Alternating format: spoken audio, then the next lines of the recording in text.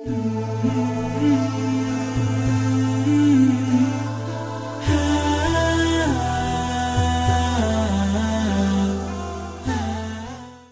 اللہ الرحمن الرحیم، ناظرین کرام، اسماء الحسنہ میں سے اللہ تعالیٰ کا وہ عظیم اسم جو العزیز و وہ لے کر حاضر خدمت ہیں، یا عزیز و اے غلبے والے۔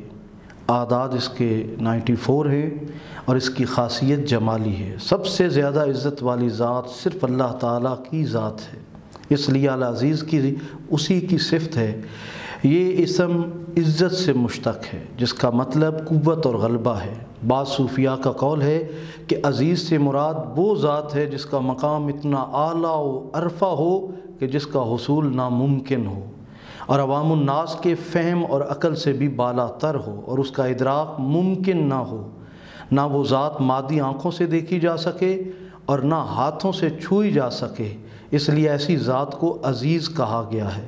صفت عزیز کا غلبہ مثبت معنوں میں ہے، جبکہ صفت جبار کا غلبہ نفی کے معنوں میں ہے۔ صفت عزیز کے غلبہ میں محبت، جبکہ صفت جبار میں جبر وابستہ ہے۔ اس کے مجربات کیا ہیں؟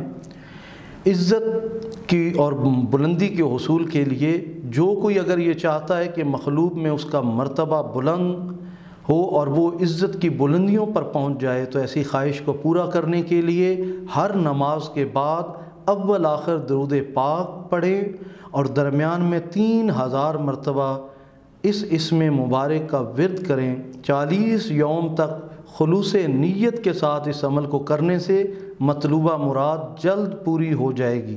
اس کے بارے میں یوں بھی بیان کیا جاتا ہے کہ چشم خلائق میں مقبول و محترم ہونے کے لیے نماز فجر کے بعد تین سو مرتبہ پڑھیں۔ انشاءاللہ اللہ تعالیٰ مخلوق میں اسے بلند مرتبہ حاصل ہوگا اور کوئی اس کے ساتھ یعنی ہر کوئی اس کے ساتھ عزت و مہربانی سے پیش آئے گا۔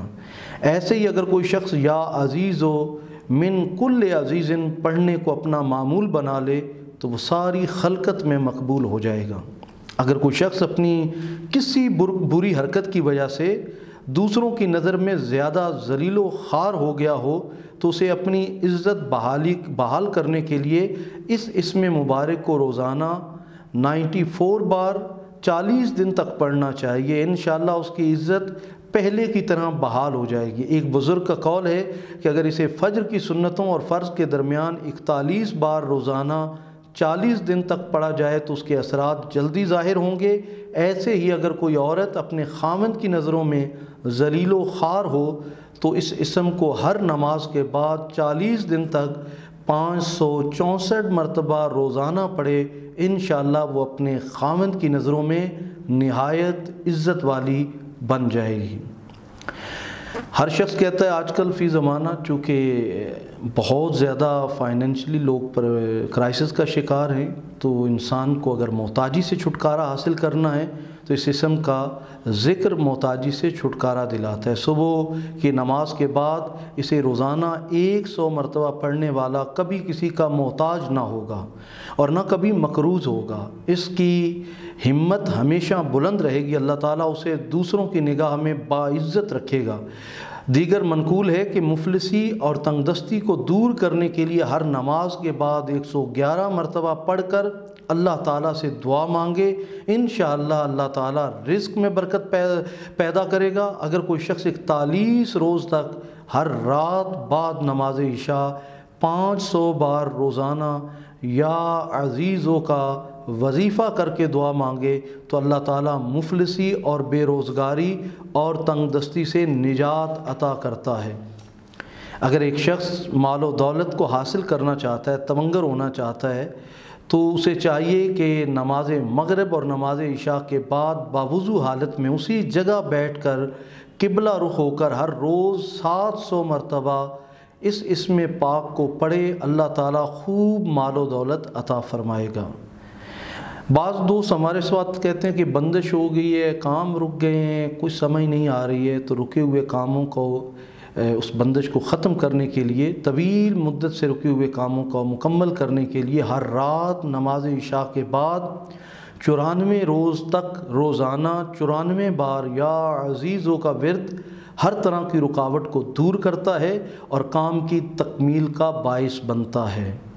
مراد کی برابری حضرت شیخ عبد القادر جیلانی قدس سر العزیز نے فرمایا، جو شخص یہ اس میں مبارک کسی بھی مقصد کے لیے ایک سو پچپن مرتبہ ہر نماز کے بعد اور خصوصیت کے ساتھ نماز فجر کے بعد پڑھے گا، جلد مراد کو پہنچے گا اور اس کے سارے رکے ہوئے کام پورے ہو جائیں گے۔ یا عزیزوں کا یہ وظیفہ جامع ایک صورت ہے اور ہر چیز کے غلبے کے لیے بہت ہی بے نظیر ہے۔ لہٰذا جو شخص اسے کثرت سے پڑھے گا، وہ ہر دل عزیز ہو جائے گا۔ اس کے علاوہ اگر کوئی شخص دولت مند بننے کی نیت سے اسے چالیس دن تک تین ہزار ایک سو پچیس مرتبہ پڑے گا، تو اس پر حصول دولت کی راہیں کھل جائیں گی۔ اگر کوئی شخص دس ہزار مرتبہ اکیس دن میں پڑے گا، تو اس کی جائز حاجات پوری ہو جائیں گی۔ اگر کوئی اس وظیفے کو انگوٹھی میں رکھے تو ہمیشہ غالب اور صاحب عزت رہے گا۔ یا عزیز المنی الغالب علی عمر ہی فلا شعین یعادلہ۔ یا عزیز، اے عزت اور قوت کے ساتھ اپنے عمر پر غلبہ رکھنے والے، پس کوئی چیز تیرے برابر نہیں، اسے اے غلبے والے۔ یہ اگر نقش انگوٹھی میں ڈال لیں تو ہمیشہ غالب اور صاحب عزت رہیں گے۔ اس کا تعویذ غلبہ غلبہ قائم رکھنے کے لیے اور لوگوں کو دیا جاتا ہے، مگر تعویذ دینے سے پہلے اس اسم کی زکوٰۃ ادا کریں۔ اور اس کی زکوٰۃ یہ ہے کہ اسے چالیس روز تک جو ہے وہ نو ہزار چار سو مرتبہ روزانہ پڑھیں، اس کے بعد اس کا تعویذ دوسروں کو دے سکتے ہیں۔ اس تعویذ اس کا تعویذ ملازمت میں بحالی دوسروں کی غلامی سے چھٹکارا، دشمن پر غلبہ، حکام اور ہر ملنے والے کو اپنی طرف مائل رکھنے کے لیے اور باعزت زندگی بسر کرنے کے لیے بے حد مفید ہے۔ دیگر ایسے تمام معاملات میں جن میں غلبہ درکار ہو، اس کا استعمال کرایا جا سکتا ہے۔ اس کا نقش حاصل کرنے کے لیے آپ سکرین پہ موجود نمبر پر رابطہ کر سکتے ہیں۔ بے حد شکریہ۔